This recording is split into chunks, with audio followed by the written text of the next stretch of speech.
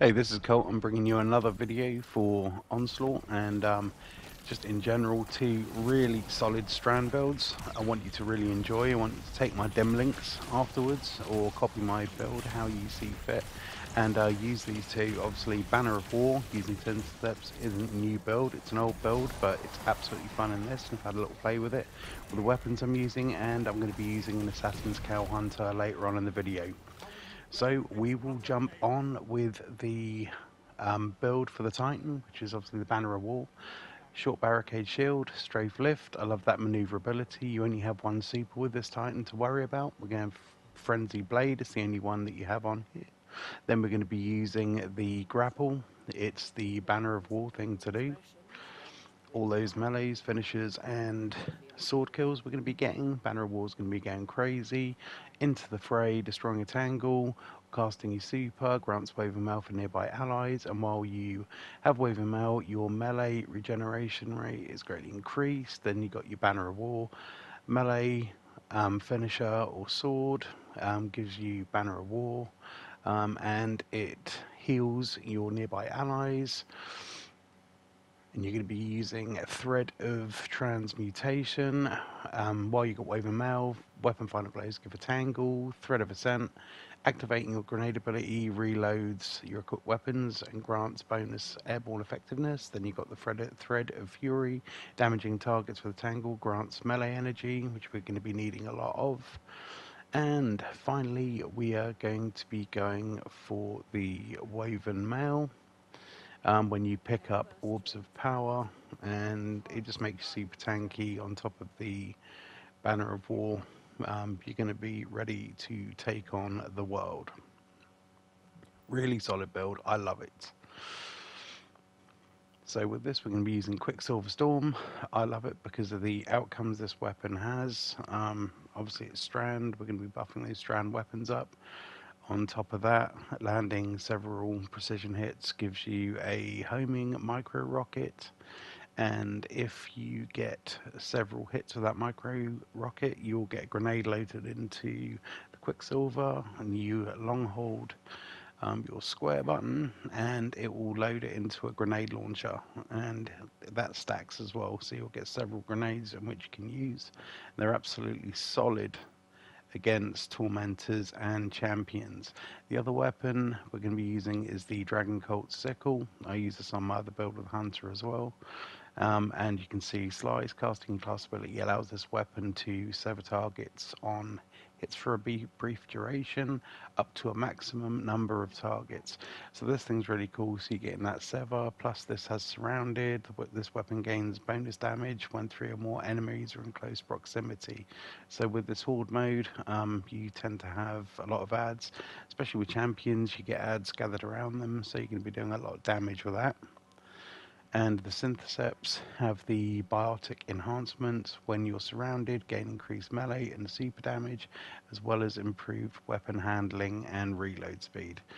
Um, I've set, set this up to be super tanky, you get your melees back nice and quick, you get your um, grapple back super quick. I'm not going for the one-two punch, uh, but well, I just I just get bored of doing that.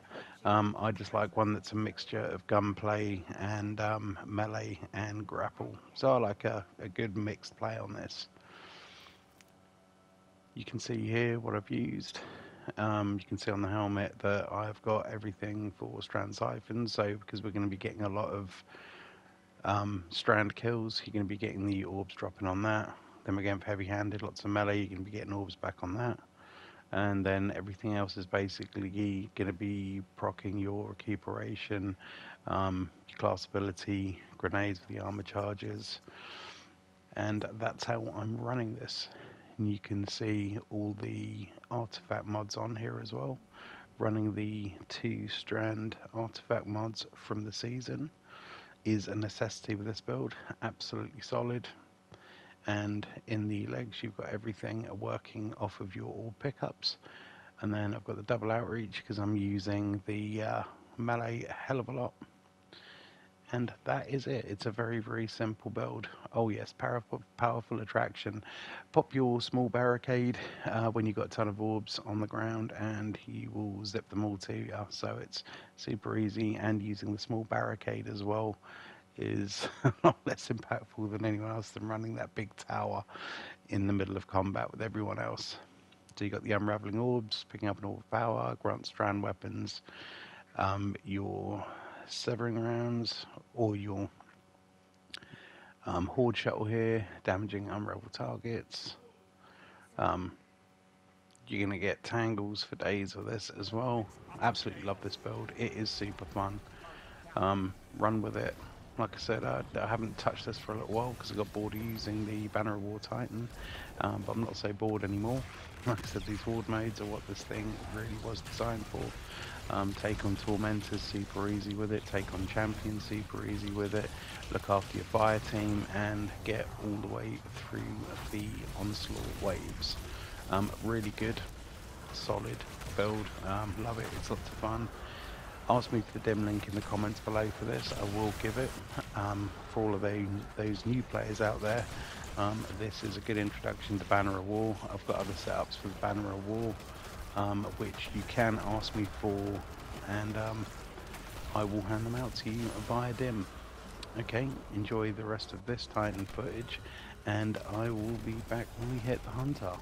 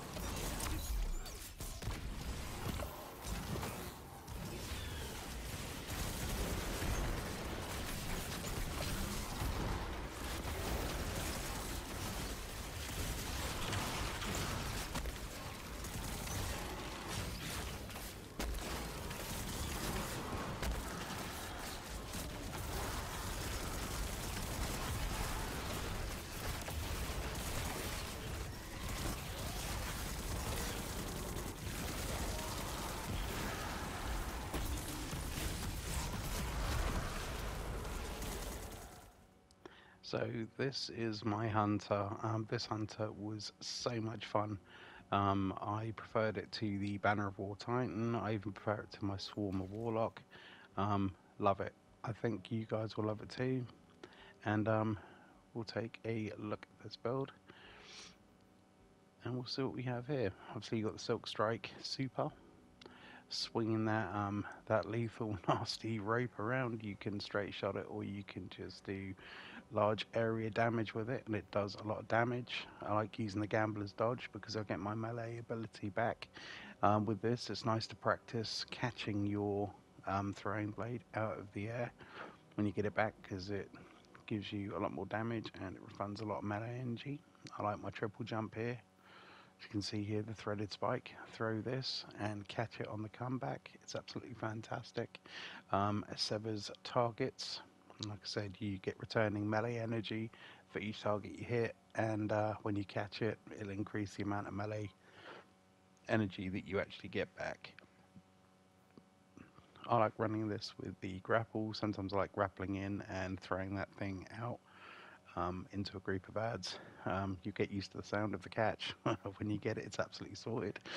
Um, Widow Silk, the um, you get an additional grenade charge, and your grappling hook creates a grapple tangle um, at the grapple point. Um, super cool, but mainly we're going to be using the Whirling Maelstrom, uh, destroying a tangle with this. Um, basically, we'll send a Whirling Maelstrom, um, spinning tangle everywhere, and it throws out strand fibers, and um, also gives off unraveling projectiles. It is nasty in groups, nasty against champions. Uh, thread of binding, uh, super. Um, hits have uh, suspending bursts and thread of transmutation the woven mail and the weapon damage. Um, you're going to go for the propagation. Powered melee final blows grant your strand weapons unraveling rounds. So we are setting up pretty nasty here. And then you've got your thread of ward, um, warding, which is picking up those orbs of power, um, just the same as in the Titan. This is a super fun build. You can be using the Quicksilver Storm, um, like we did in the previous build. Um, the weapon setup's going to be um, pretty much the same. You'll see me using Summoner, and that's because on the artifact I have the um, solar aspects, or not aspects, the uh, seasonal um, mods on there for solar as well, so I can get radiant. Um, sometimes I like to mix it up a bit, but in the footage you're mainly going to see Quicksilver and the uh, Dragon Cult Sickle. I really love this sword. It's super good especially when you're surrounded and having slice on it and taking those champions down with it. I'm going to show you it again. It's fantastic. Use it. Like I said, dim link this build. It's fantastic, especially with the Assassin's Cowl. Vanish, vanishing Execution. Um, super strong. Um, I never used to like the Assassin's Cowl. But um, my wife and a gaming partner at Phoebe. She has her own channel, which is absolutely amazing. She used this a hell of a lot. Uh, powered melee, final blows, grant invisibility, and restore a portion of health and shields. Finishes and final blows against more powerful targets. Increase duration of the invisibility and the amount of health and shields restored. This thing's really nasty, especially when you're throwing out um, your threaded spike. Um, you're getting the invisibility. You can maneuver quite nicely and I love dodging, getting that melee, getting that invisibility.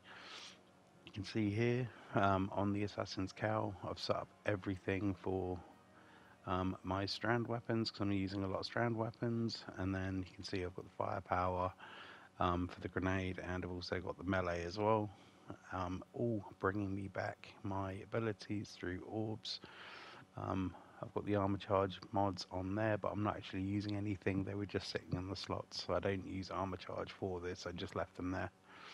You can see the unraveling orbs to get the unraveling rounds. Um, I've got the dragon's bite, chance to suspend with um, breaking shields on enemies, and I've got the horde mod, which is the horde shuttle which you saw in the previous, razor precision, while radiant precision, final blows cause combatants to ignite, and that's why I'll use the summoner sometimes. Just want to switch it up and run two autos. Some people criticize me for that, but I don't care. I like it, it works. Okay guys, enjoy the rest of this footage. Do watch it through because you'll see how this fully performs. Um, I will give a dim link for it, so ask, ask, ask for those dim links enjoy this video and what I'm going to be doing in the next one is I'm going to be covering my Strand um, Warlock and I'll be doing it against my Behemoth Titan with Hoarfrost which are two very very very nasty builds and very enjoyable and very easy to set up. And that's the thing with my builds easy to set up. Like I said just ask for them put it in and you're ready to go If you don't like the uh, the build, just let me know and give me some feedback to what you think of it. And um, I will see you in the next video. Until then, I will see you later. Enjoy.